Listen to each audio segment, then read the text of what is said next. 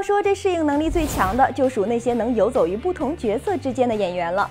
这部在《钢刀》拍摄现场，何润东和李东学就谋划起新角色，为了给观众带来一场惊险刺激的拼刀大战，俩人还使用真刀上阵，那受伤变成了家常便饭。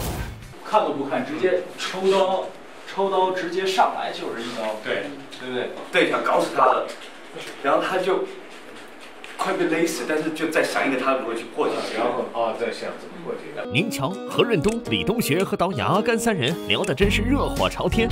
仔细打听得知，他们正在谋划电影《钢刀》中的一场重头戏——拼刀大战。对，就是为了生存，我怎么样都可以，我把你耳朵咬掉都可以那种。说得很，拍摄时两人更是来真的，手持真刀就来了。要真的假的？真的，真的，真的，说了半天了，真的。